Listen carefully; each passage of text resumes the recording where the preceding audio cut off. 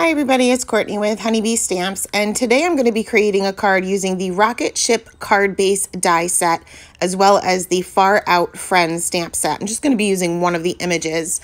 So I cut out all of my pieces from the Rocket Ship card base die set and I cut one layer with heavyweight cardstock and two from 80 pound Neenah Solar White and all of the little elements that will be glued down are also cut with the 80 pound. So I'm going to take two, the two of the lighter weight cardstock here, and I'm going to score these right on the very top. And this is what's going to create my card base. Now, I can't for the life of me find my scoring tool. So I'm using the back of a cheap paintbrush and the first one is fine the second one the paint came out of the off the paintbrush handle but that's okay that'll be covered so next i'm taking the inside panel of my card and I'm going to stamp out this little astronaut girl here. And I am using my mini MISTI here because I know it's a large image and I'm probably going to have to stamp it twice, which I did.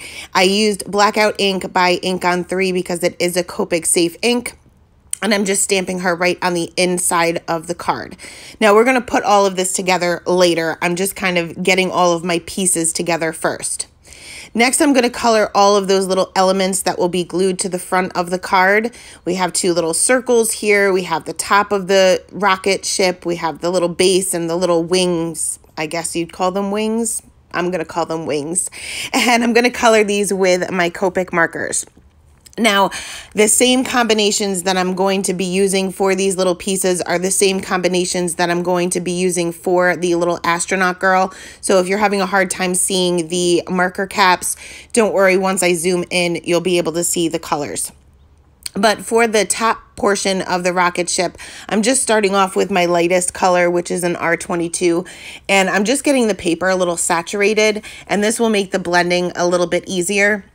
I'm going to go in with that scary dark color and I'm just going to add a little bit of that on either side and then I'll start blending that out with my two midtones and I'll just keep the very center of this little piece for that R22 which is the highlight color. So I'm also going to color in these little wings with the same color combination. I had to kind of play around with them a little bit because I wasn't sure exactly the position that they were going to be in once the card was put together. So I brought back out that card base just to kind of see how these would line up so I knew exactly where to put my shading not the end of the world if you put your shading in the wrong spot. Nobody's ever going to notice the difference anyway but I colored these pretty much the same way. Just starting off I did start off with the darkest color because these are smaller.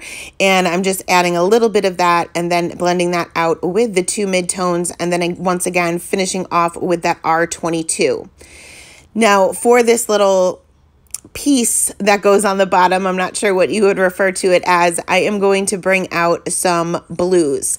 And I'm going to add just a little bit of shading on either side with my darkest color and then just blend that out with the two midtones on either side, leaving the center portion of as a highlight. Now I'm using all the same blending family here.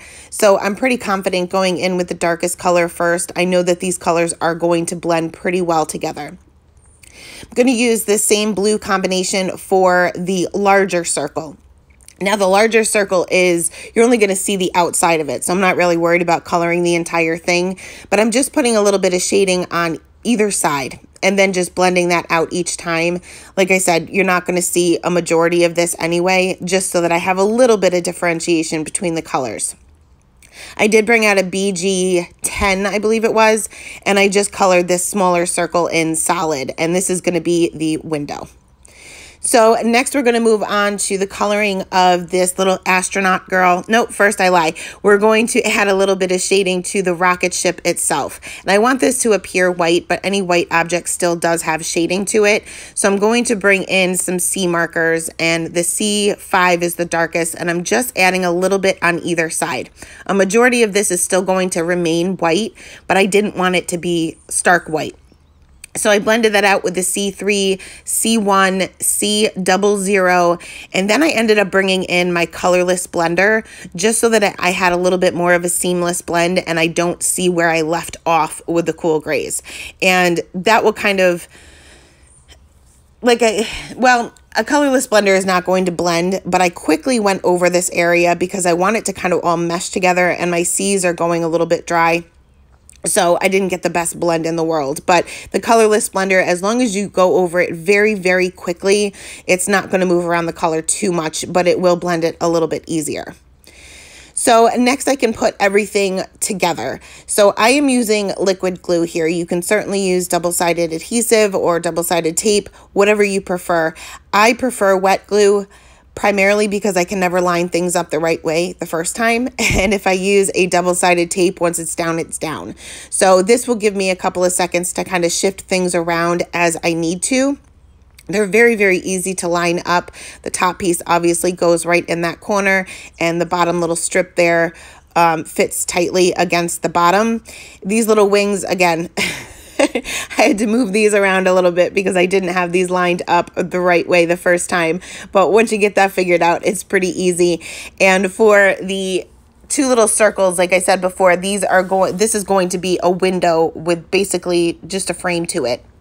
So I am going to adhere the smaller circle on top of the larger one and then adhere that right there in the center of the card base.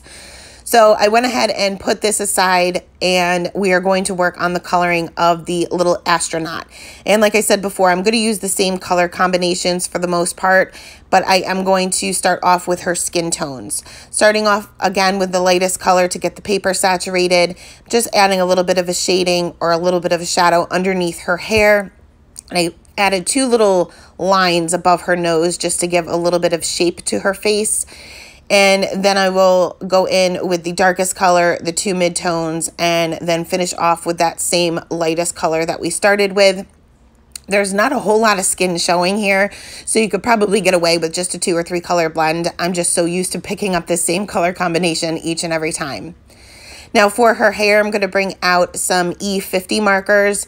And for hair, I like to start off with the darkest color first. For me, it works best to do that so that I can maintain my flick lines. I like to use just the very tip of my marker and use some flicking motions or feathering motions and that way it will add a little bit of texture. And if you go over these areas too many times and try to blend them out, you're going to lose that texture. So I like to start with my darkest color first and that way I can maintain those flicks and then I'll keep that texture to her hair. So I just added a little bit of shading where her hair would be parted in the middle and on the base of her little bangs there and her pigtails basically just on the top and the bottom of them. I'm not overthinking this too much. Next, I'll bring in the E57 and I'm just going to extend these flicks out a little bit further. And if you can see, I am starting my flicks basically where I left off with the darker color. So I'm not going over the darker color, I'm just kind of continuing where I left off. And this will be another way that you can maintain that texture within her hair. Next is the E55. I'm going to do the same thing, just start where I left off with that E57, extend those flicks out a little bit further, and then I'll finish off with the E53, and I'm going to very, very quickly go over the highlight areas again because I don't want to blend them. I just want to fill in those highlights. So next we're going to work on her little astronaut outfit here. And I'm going to start off with the C5, which is the same, same color combination that we used for the rocket ship itself. And I'm kind of just adding this to random areas at this point because I wasn't sure how much of this I wanted to remain gray and how much of it I wanted to add the blue and the red to. So I'm just adding minimal amounts of this right now to kind of some random areas of her little outfit. And then you'll see that I'll go back and add a little bit more of the gray combination later.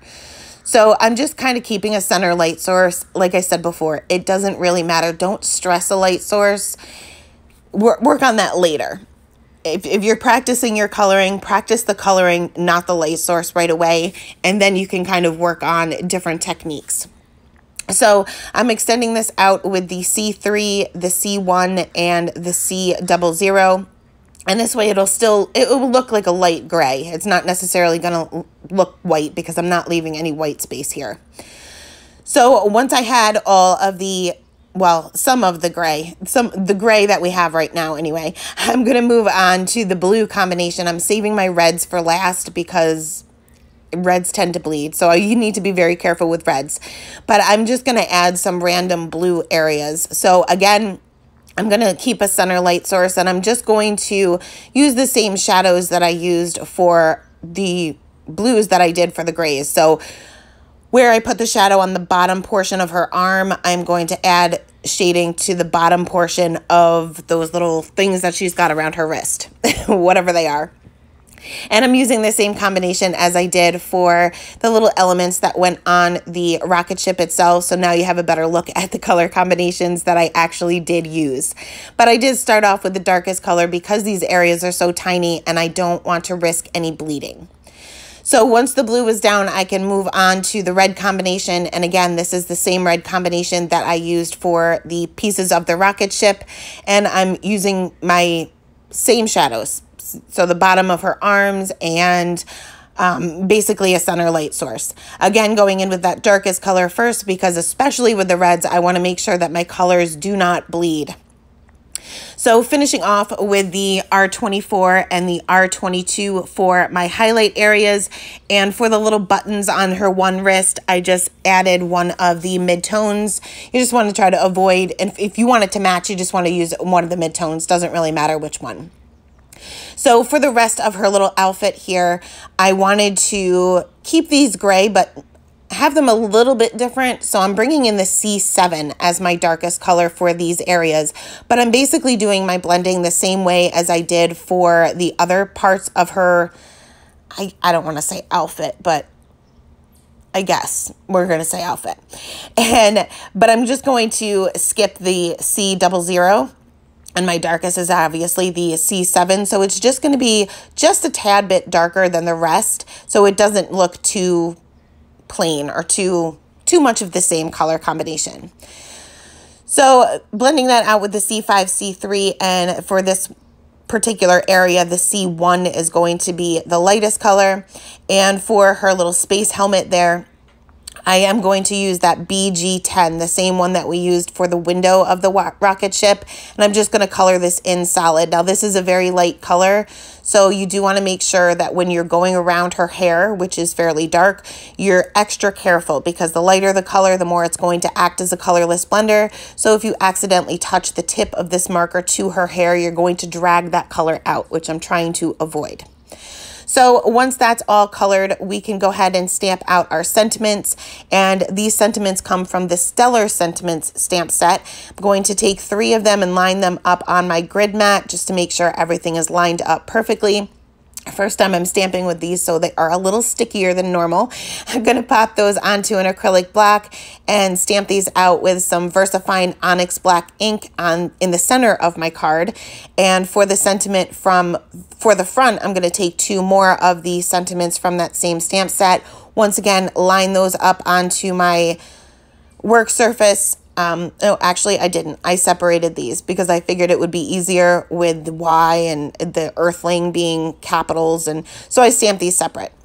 Same ink though. So next we are going to go ahead and add a little bit of shimmer and shine. So I lied. First, I'm going to adhere my inside panel to the back side of the card base. And the only reason why I did two layers here is because once you color, it tends to bleed through the back and I didn't want that to show. You can certainly keep it the way it is. That's fine. Um, I just don't like to see those bleed lines in the back.